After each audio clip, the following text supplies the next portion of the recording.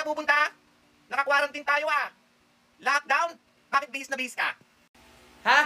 Wala po, Nay. Dito lang, magti-tiktok. Oh,